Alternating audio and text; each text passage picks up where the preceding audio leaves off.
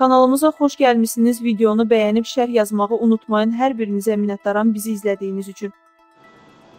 Ermənistanda qadınların hərbi xidmətə cəlb olunması üçün qanun layihəsi hazırlanır.